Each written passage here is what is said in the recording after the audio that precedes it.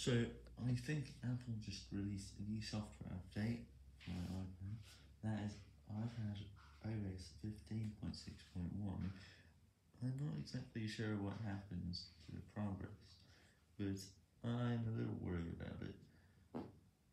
You know, this is quite a little thing that happens all the time, every couple of weeks, and then it gets updated.